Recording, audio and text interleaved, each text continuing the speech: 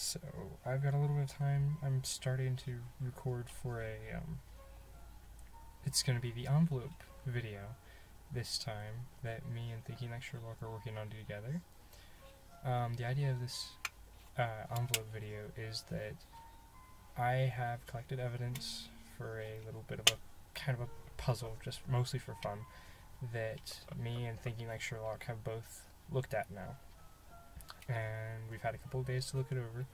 The idea is that we haven't talked about the case so far. So we're making our own individual deductions based on the evidence that I found. With the same information that we've got. We both have the same starting information. And the hope is that both of us will be able to make deductions about the case, and either we'll come to the same conclusion or we'll come to differing conclusions.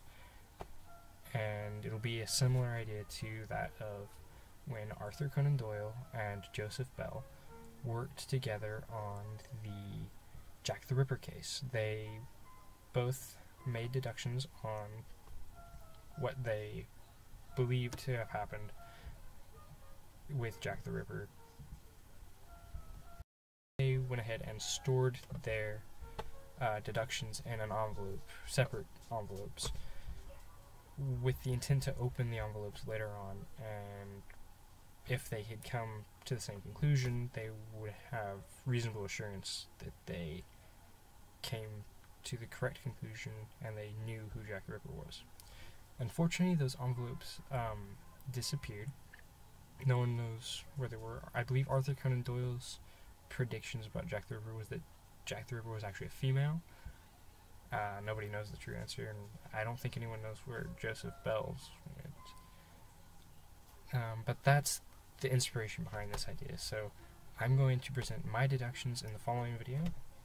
I'll have a link to Thinking Like Sherlock's channel in the description, and then he's going to have his deductions on his channel, and we'll compare notes and see if we've come to the same conclusion.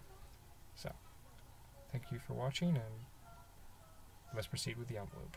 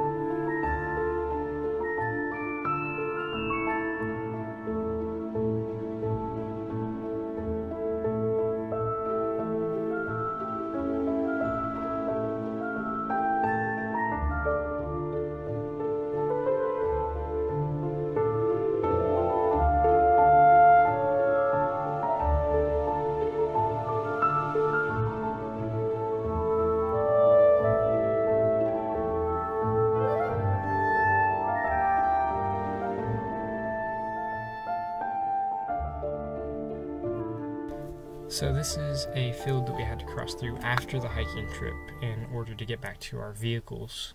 And while crossing through this field, I stopped to find a bone, a single bone. And this is, after doing some research, I discovered that this is most likely the shoulder region of a canine of some sort. And this is a canine paw print. You can tell it's canine because canines of any species can't retract their claws like felines can. Finally, we found another footprint, which is after again after doing some research, a boar footprint, wild boar, and wild boars in this area, which is Oklahoma, are actually very aggressive. And so it's my speculation that a wild boar came across the whatever canine it was and was actually able to beat it and kill it.